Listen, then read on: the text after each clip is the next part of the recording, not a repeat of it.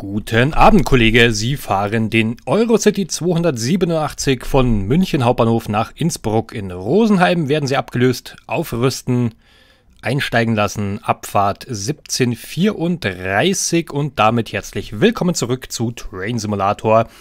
Ich melde mich aus meiner Heimatstadt vom Münchner Hauptbahnhof und bin, glaube ich, außer den ganzen Railjet-Geschichten, die ich bislang gefahren bin, die Taurus noch gar nicht gefahren. Also heute, wie gesagt, wir sind mit dem Eurocity unterwegs. Ähm, und ich versuche mal das Ganze hier in der Kürze der Zeit korrekt aufgerüstet zu bekommen. So, das dürfte es hier hinten schon soweit gewesen sein. Wir haben, äh, ich glaube, Eurofima-Wagen am Haken, deswegen auch Türsteuerung auf ÖBB eingestellt. Zugspitzensignale müssen wir noch konfigurieren. Zugsicherungssysteme sind sowieso standardmäßig immer eingeschalten, glaube ich. Weiß ich sogar. Also SIFA, PZB, LZB ist alles ähm, standardmäßig immer aktiviert bei dieser Maschine. Ich habe eine ganze Weile suchen müssen, bis ich jetzt mal wieder ein, ein vernünftiges Szenario für den Taurus gefunden habe. Aber das hier scheint mir ganz vielversprechend zu sein. So, Stromsystem müssen wir natürlich noch ähm, einstellen, auswählen. Deutsche Bahn, das müsste soweit passen. Muss ich sonst noch hier irgendwas tun? Ich glaube nicht. Das müsste schon soweit in Ordnung sein. Dann können wir, glaube ich, auch direkt schon den Stromabnehmer heben. Ah, Moment mal. Stromabnehmer 1. Ja, genau, das ist der vordere. Das ist natürlich nicht ganz ideal. Wäre natürlich, eigentlich wäre es egal. Hm. Ne, gefällt mir nicht. Nein. Stromabnehmer wieder senken und den anderen auswählen. Soll ja alles seine Richtigkeit haben, nicht wahr? So, Stromabnehmer 2, das ist dann auf jeden Fall der hintere. Dann heben wir den Bügel wieder. Und dann ist das Gerät auch vernünftig aufgebügelt. So. Hauptschalt ein. Und irgendwie habe ich tatsächlich so ein bisschen Gefallen dran gefunden, die Loks immer noch aufzurüsten, wenn genügend Zeit da ist. Ich habe das ewig überhaupt nicht gemacht. Ich weiß nicht, es ist halt auch im Grunde immer dasselbe. Und es geht ja ums Fahren, aber wenn man halt genügend Zeit hat, bevor die Fahrt beginnt, kann man sie auch manuell machen. Ist ja auch wirklich nett umgesetzt bei vielen Lokomotiven. Also gerade beim Taurus finde ich es wirklich cool gemacht. Generell ist es einfach echt eine richtig coole Lok. Gefällt mir ausgesprochen gut. Einer der Käufe, die ich definitiv überhaupt nicht bereue. Auch wenn das Ding 40 Euro kostet. Das Railjet-Paket. Ist jetzt natürlich auch nicht gerade günstig, aber es ist, ich finde schon, also sehr hochwertig einfach. In jeder Hinsicht. So, noch ein Schnappschuss, bevor es losgeht. Bisschen wenig los vielleicht heute hier am Münchner Hauptbahnhof. Aber kann ich auch mitleben. Da steht ein bisschen was Meridianmäßiges rum.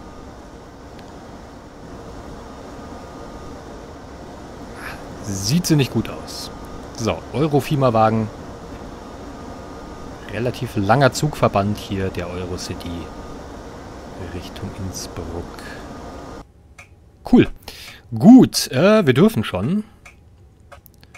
Ähm, ich habe das Szenario natürlich schon mal kurz getestet, bin mal kurz bis zum Ostbahnhof runtergefahren und habe direkt festgestellt, also das mit dem Fahrplan, oh, wird aber echt schwierig. Ähm, und ich wäre zumindest, wäre ich gerne bis, also in München Ost wäre ich schon ganz gerne pünktlich. Deswegen werde ich mir, glaube ich, die Freiheit nehmen, bis zum Ostbahnhof ein bisschen mehr auf die Tube zu drücken, als eigentlich erlaubt ist. So, ja, wahrscheinlich habe ich jetzt eh schon wieder viel zu lange rumgetrödelt. Es ist vermutlich schon irgendwie machbar, wenn man wirklich, also quasi am Limit fährt und wirklich schon komplett abfahrbereit ist, sobald die Türen zugehen, äh, dass man da halt schon Gas geben kann. Das war jetzt natürlich... Na, seht ihr, ich habe schon wieder fast eine, fast eine Minute verloren. 45 Sekunden auf jeden Fall. Das reicht wahrscheinlich schon, um in München Ost nicht mehr pünktlich zu sein. Deswegen gebe ich zwischendrin jetzt einfach vielleicht ein bisschen mehr Gas. So minimal natürlich.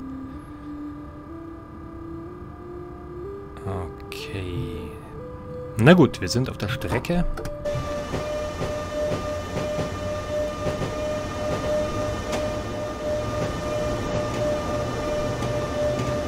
Mann, Mann, Mann.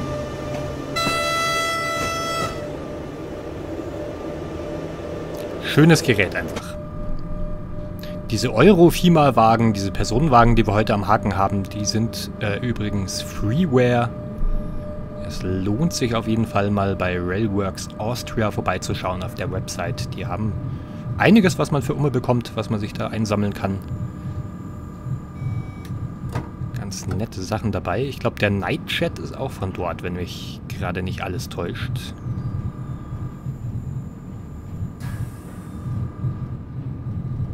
Die sind jetzt natürlich irgendwie nicht mega ausmodelliert, so, aber kann man sich schon mal an den Haken hängen. So ist es nicht. Das passt schon.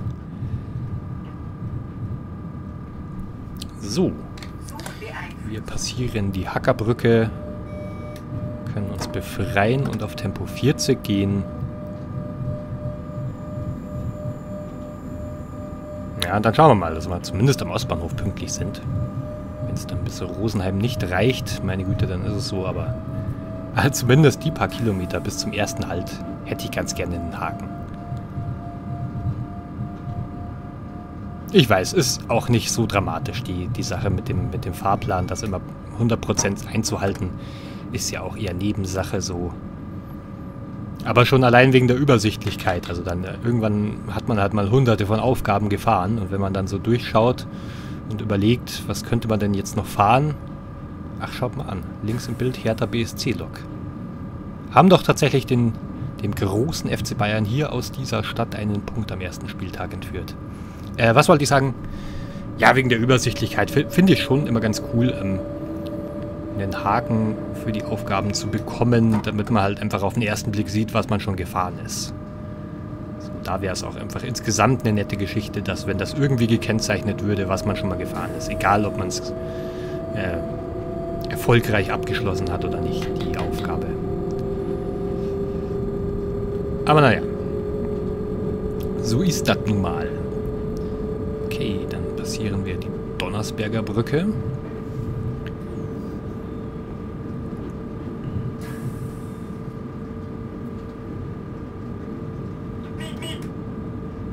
Und dann dürfen wir Gas geben. Tempo 90 erstmal.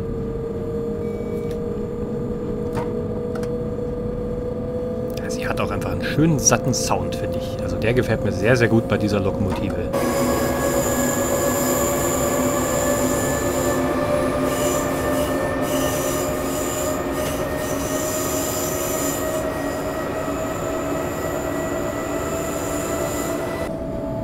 Ja, das passt.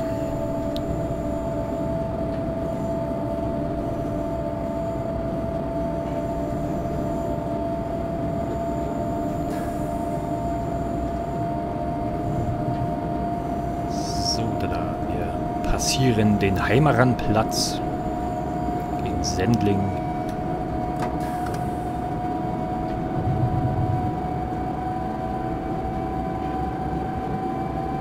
Und hier gebe ich jetzt schon mal so ein bisschen mehr Gas.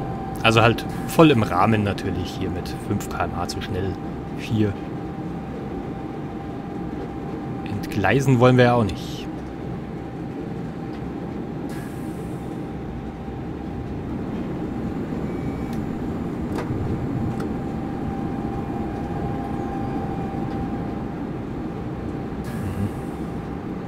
Jetzt wäre ich voraussichtlich 20 Sekunden zu spät dran. Das sollte ja noch locker im Rahmen sein. Irgendwie so eine knappe Minute darf man, glaube ich, drüber sein.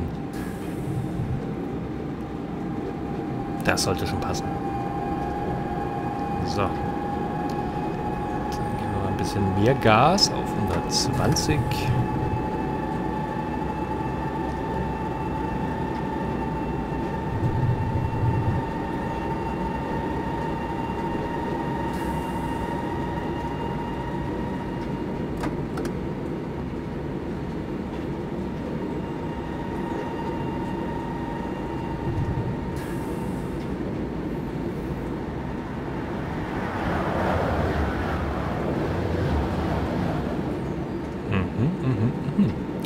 nett anzusehen.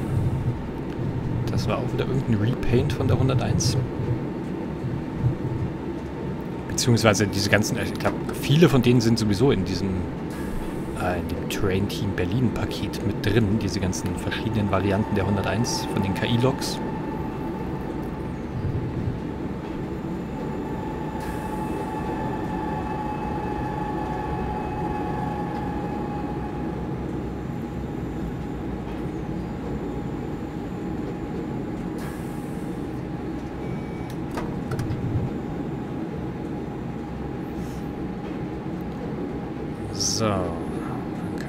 Bisschen Zwischengas geben und dann geht es sowieso wieder runter auf Tempo 60.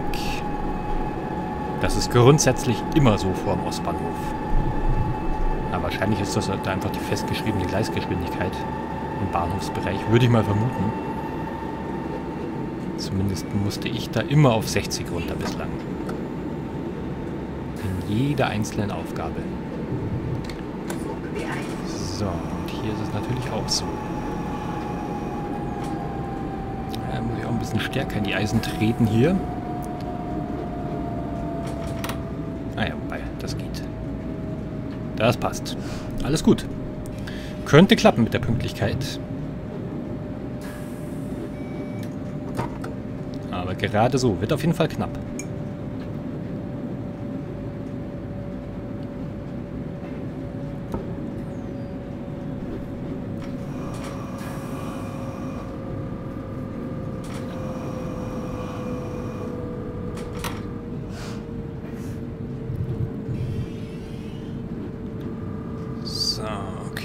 Passt schon mal. Oh, es, wird, es wird knapp. Bin gespannt, ob wir einen Haken kriegen. Könnte eng werden.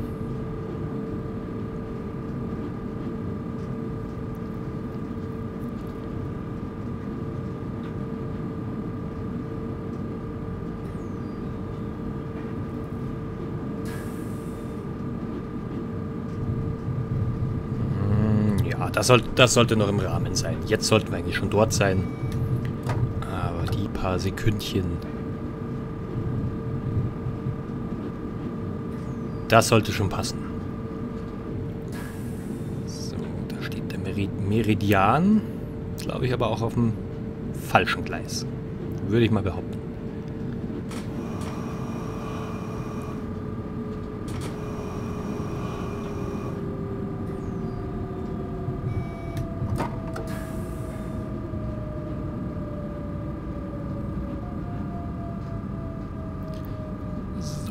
Jetzt wäre es aber ganz gut, zum Stehen zu kommen und die Türen öffnen zu können. Sonst sind wir jetzt fast schon wieder eine Minute drüber. Gerade noch so, glaube ich, wird das in Ordnung gehen, hoffe ich. Okay, passt. Türen sind geöffnet.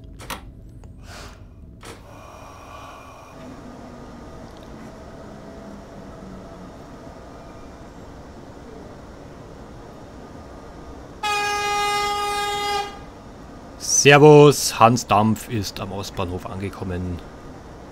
Wer noch mitfahren will, sollte sich ein bisschen beeilen. Ach, sieht sie nicht gut aus. Die 1116.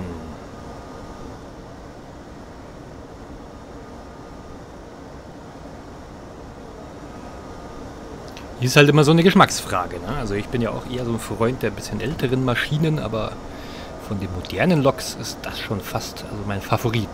Äh, rein von der Optik her. Das ist einfach ein gelungenes Design. Da haben sie schon was Schickes auf die Beine gestellt hier mit dem Taurus. So, Türen sind schon geschlossen. Okay, passt. Dann ab nach Rosenheim.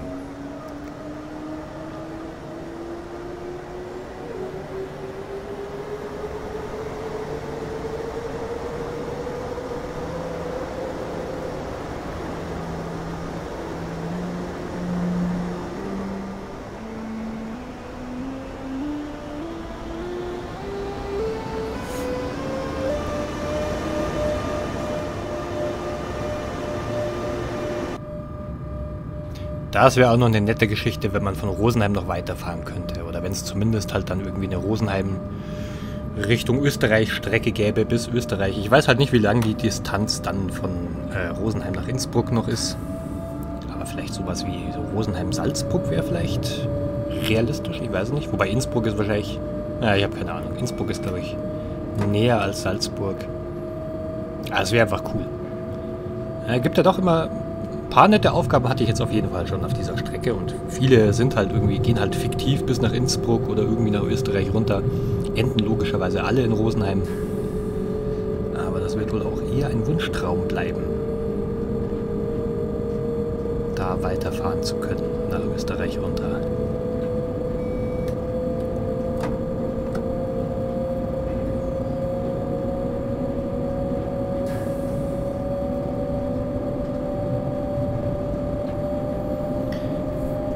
Na gut, dann sehen wir mal zu, dass wir Land gewinnen und die Landeshauptstadt hinter uns lassen.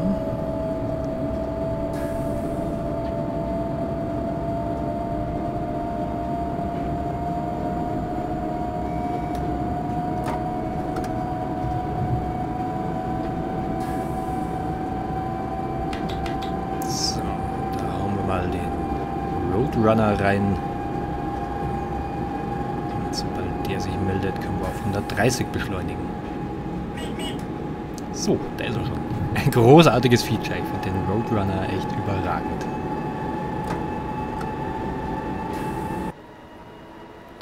So. Am Berg am Leim vorbei.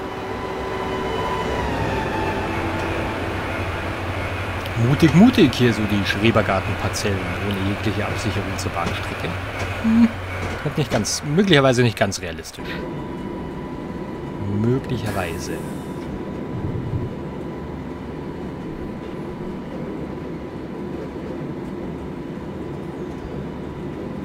Oh, die heilige ET420. Schön, schön. Hatte ich jetzt auch auf jedem oder fast jedem Szenario, wo ich hier in München unterwegs war. war immer mal wieder schön die 420er ver verbaut. Sehr, sehr schön.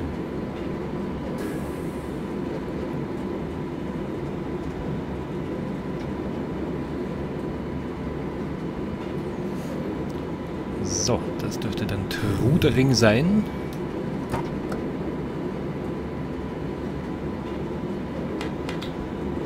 glaube, das ist dann auch die letzte Station, wo es noch Umsteigemöglichkeit zum U-Bahn-Netz gibt. Was kommt da reingefahren? Zebras im Doppelpack mit einem Kesselzug bzw. gemischter Güterzug.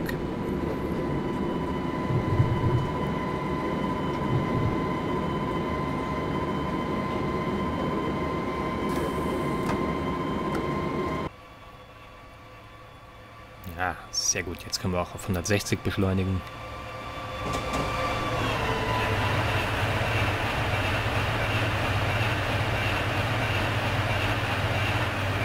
Cool, cool. Kann man mal so machen.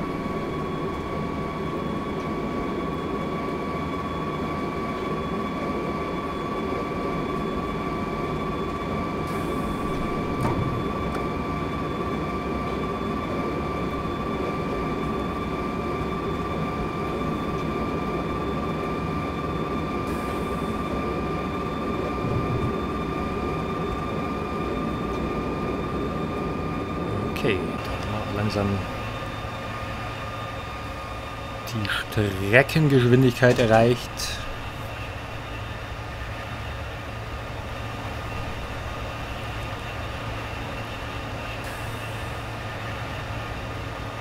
Ja, netter Zugverband.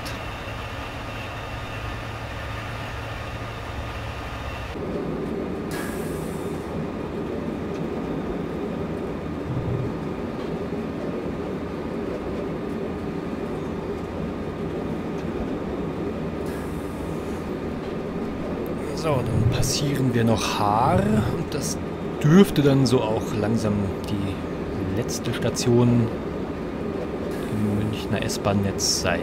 Grafing ist dann die allerletzte.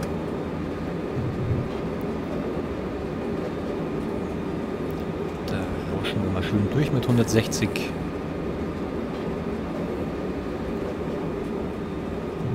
Also auch wirklich ein Top-Führerstand, muss man sagen. Ne? Finde ich persönlich. Ich finde, der ist absolut gelungen. Sieht sehr ansprechend aus.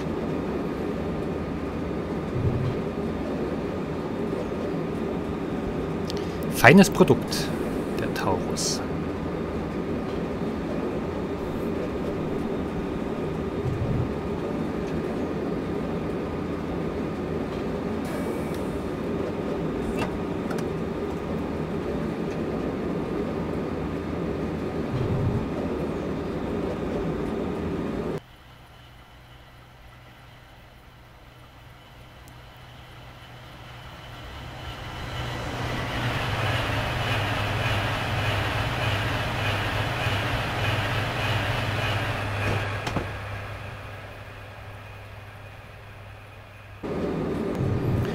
Was ich für den Railjet gerne mal hat, hätte, ist eine Aufgabe für ähm, Hamburg, Hannover Deluxe. Weil also meines Wissens fahren die ja schon bis Hamburg, die Railjets. Das wäre mal eine feine Sache. Da habe ich bislang auch noch nichts gefunden. Stelle ich mir jetzt ziemlich cool vor.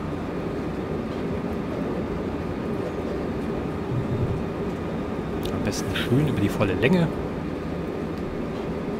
Da darf man ja auch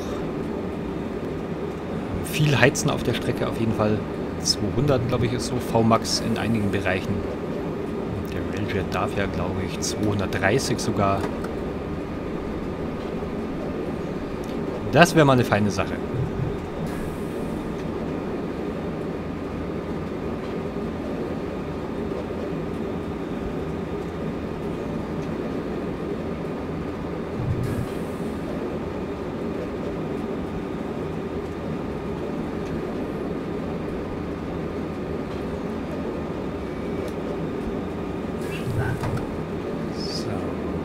Grüne Welle bis hierhin und ich vermute mal, das wird auch so bleiben.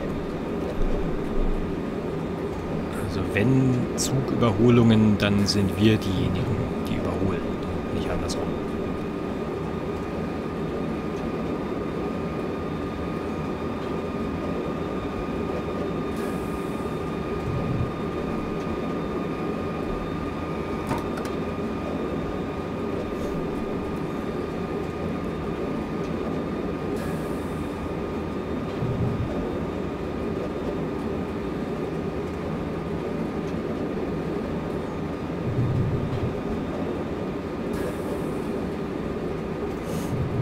Ja, was macht denn die S-Bahn da? Ach, steht auf dem Abstellgleis. Okay, alles klar.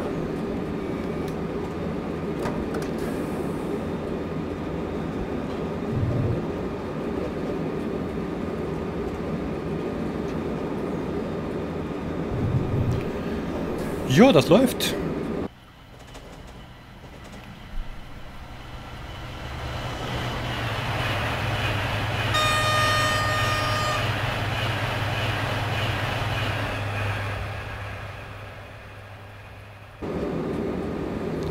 durchaus äh, angenehm zu fahren, die Geschichte hier.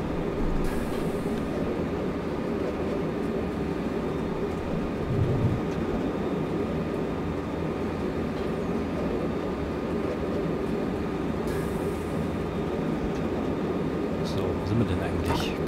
Gronsdorf oder so irgendwie Ecke, glaube ich.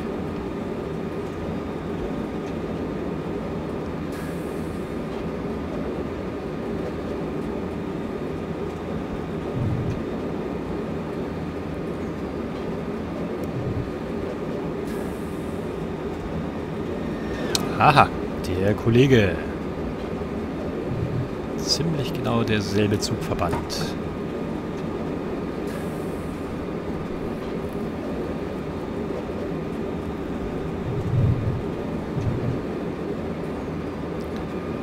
So, dann müssen wir ein bisschen langsamer werden hier. Ein bisschen runterbremsen auf 140.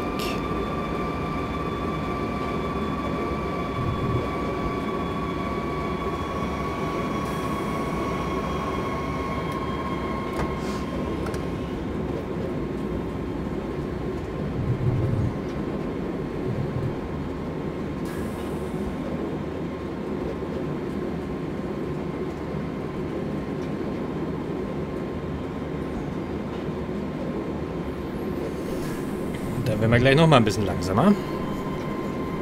Dann dürften wir auch gleich schon Grafing erreicht haben und lassen das MVV-Netz hinter uns. Und brettern über die zweigleisige Strecke nach Rosenheim runter. Oder rauf? Eher rauf. Ich glaube, Rosenheim liegt höher als München.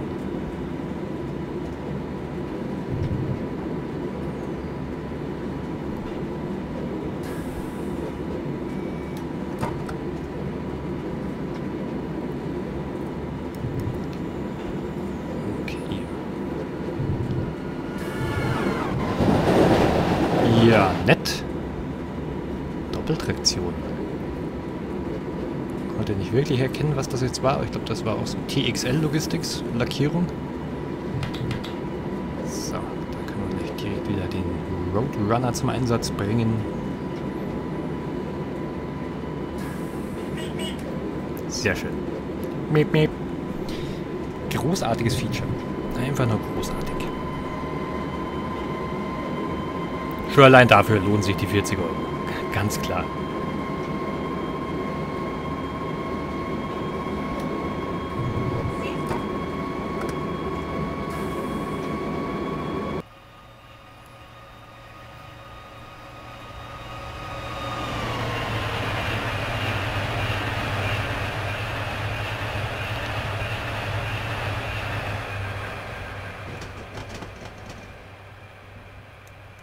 Okay. Dann lassen wir hier an der Stelle auch das S-Bahn-Netz hinter uns. Und da ist auch nochmal eine 420er. Links im Bild.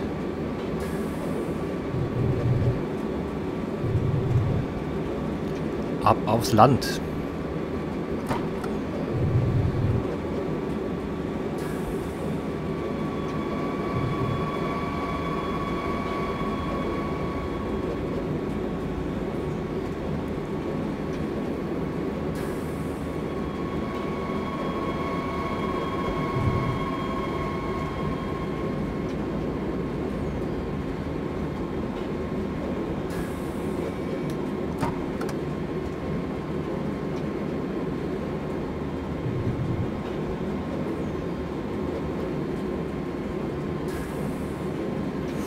Ja, das ist also vor diesen Standard-DTG-Strecken wirklich auch nicht die schlechteste, wie ich finde.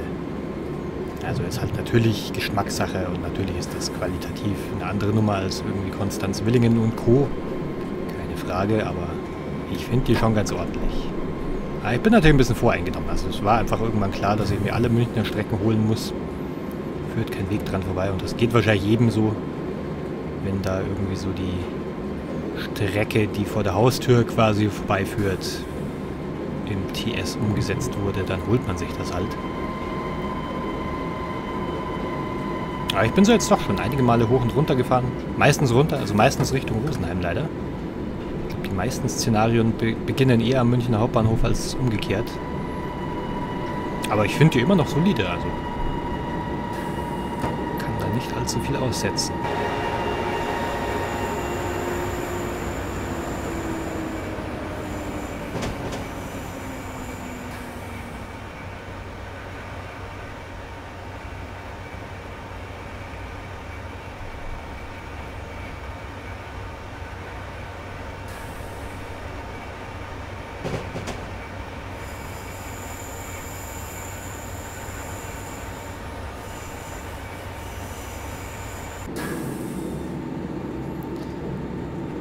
So, genügend Bilder eingefangen.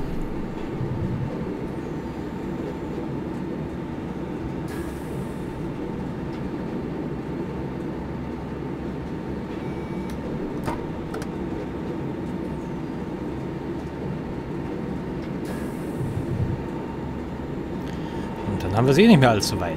Knapp 20 Kilometer haben wir noch vor uns bis Rosenheim.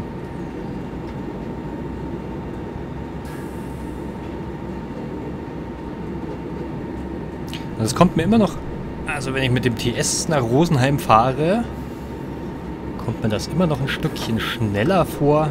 Oder also kürzer eben die Distanz, als wenn ich hier ab und zu mal als Fahrgast runterfahre mit dem Meridian. Und der Meridian, wenn der ohne Zwischenhalt nach Rosenheim fährt, dann dürfte der ja ziemlich genauso schnell sein wie also unser Zug heute. Schneller als 160 dürfen sie alle nicht auf der Strecke. Aber es ist, glaube ich, schon eine ziemlich originale Fahrzeit. Also das kommt schon, glaube ich, sehr, sehr nah ans Original dran. Kommt einem nur anders vor, aus irgendwelchen Gründen. So, Asling. Asling in Oberbayern.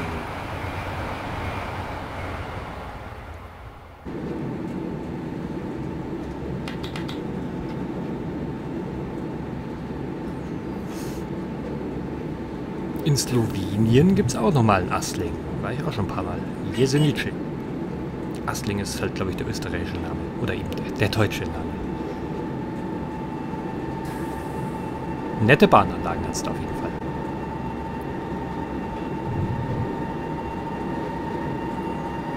Sonst eher so ein bisschen unspektakulär.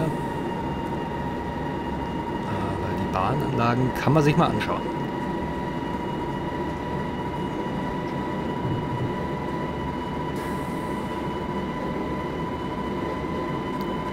So, ab auf die Gerade. Können wir mal kurz Pedal to the Metal machen, aber dann wären wir eh schon wieder auf 150 runtergebremst.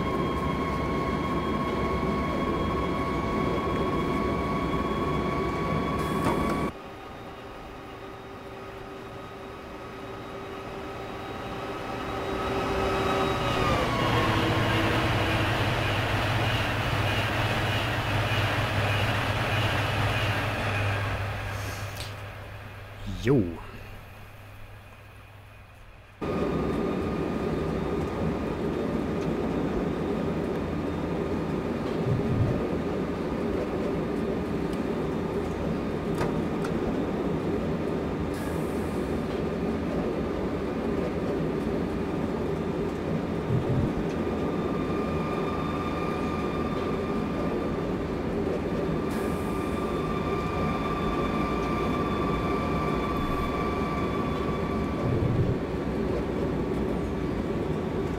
Mhm, das sieht doch alles ganz vielversprechend aus. Fahrplan ist aktuell sehr gut sogar.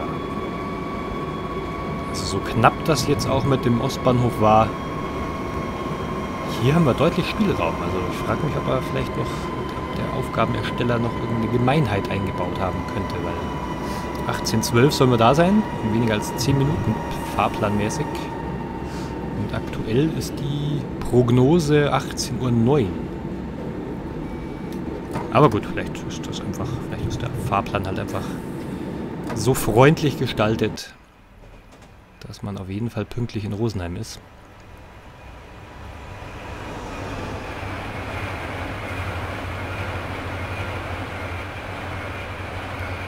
So, Ostermünchen heißt die Ortschaft.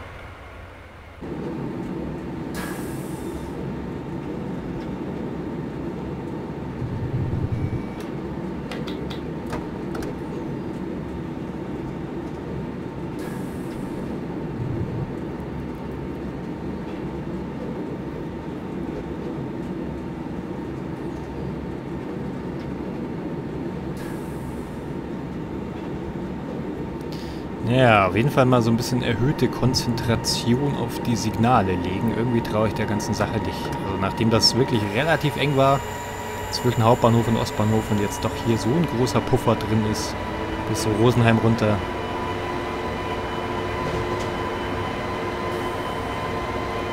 Mal schauen.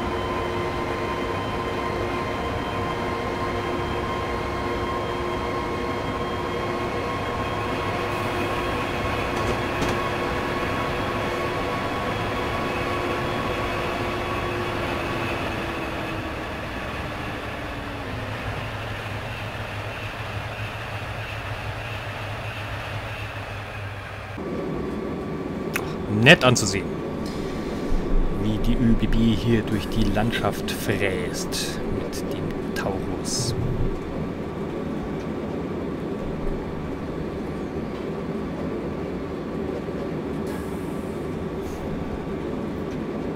So. Fernverkehr aus Österreich kommend. Deutsche Kollege in dem Fall.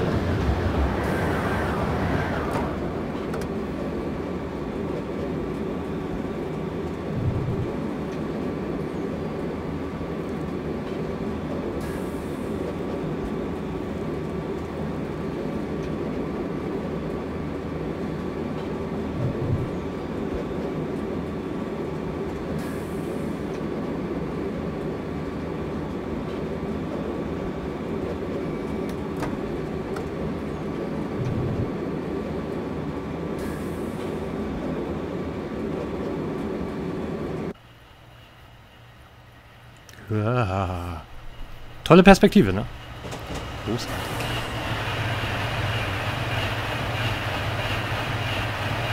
Aber eigentlich ganz interessant, das mal zu sehen, wie das so gebaut ist. Ich glaube, das ist halt auch einfach, dass es quasi kein Terraforming wie dieser Bahndamm entstanden ist, sondern das scheint ja dann auch irgendwie so eine Art 3D-Modell zu sein. Der erhöhte Bahndamm hier. Weil sonst würde man ja da mit der Kamera nicht runterkommen. Warum auch immer das so ist.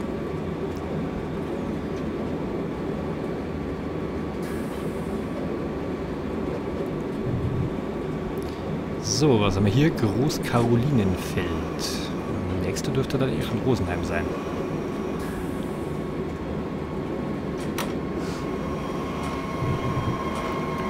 So.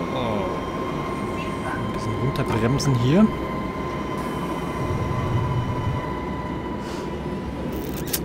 Und auch da, denke ich, werden wir vor Rosenheim eh wieder auf, auf 60 runter müssen. Das ist eigentlich auch immer Standard. Ne? Hatte ich, glaube ich, auch noch nie anders. Macht ja auch Sinn. Durchaus.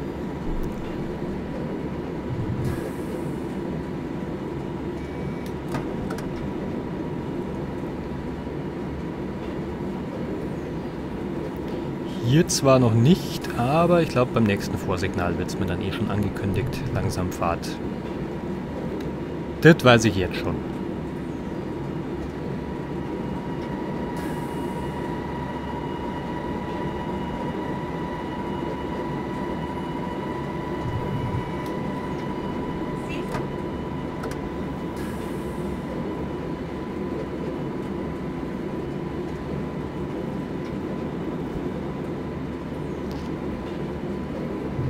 Na, kriegen wir langsam Fahrt? Ja, natürlich kriegen wir langsam Fahrt. Natürlich.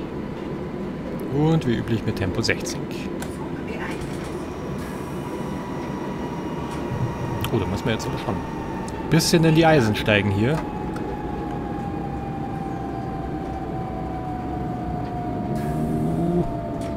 Kriegen wir das hin? Ja, locker. Easy. Zügig unter die 85 kommen. Wobei man, glaube ich, hat man in der oberen Zugart nicht sogar 23 Sekunden? Na, ich weiß es nicht, aber auf jeden Fall ausreichend. So, Tempo 60, okay, schaut gut aus.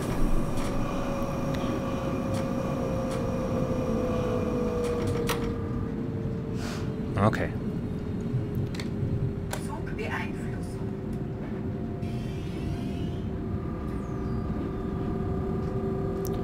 Punktlandung fast. Fahrplan, ach, ausgezeichnet. Locker zwei Minuten zu früh kommen wir da jetzt an.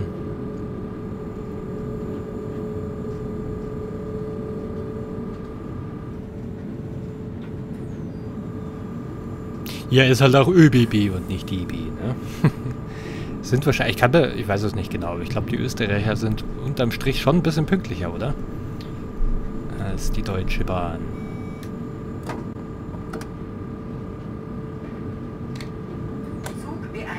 Ist aber keine Kunst, denke ich mal.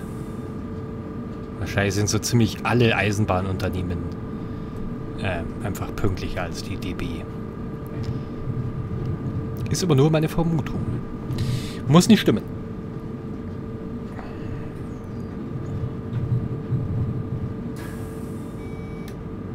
Die Schweizer sind ja bezüglich Pünktlichkeit dann sowieso nochmal ein eigenes Thema. Also bei denen äh, funktioniert das ja echt wie ein Uhrwerk. Das ist schon auch echt ein bisschen beneidenswert. So, RBH ist auch unterwegs.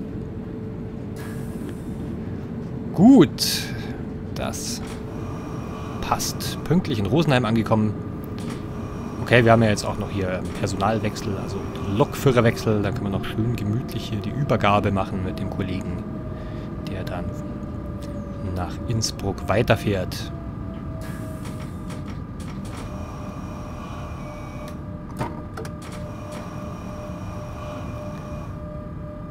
So.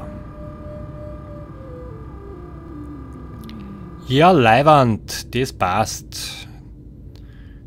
Türen geöffnet. Mhm.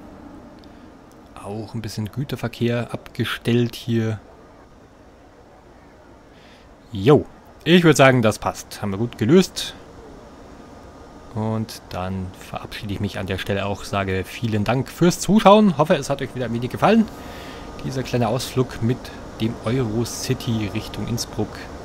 Und ja, wenn ihr Bock habt, sehen wir uns zur nächsten Folge wieder. Würde mich sehr freuen. Bis dahin und macht's gut.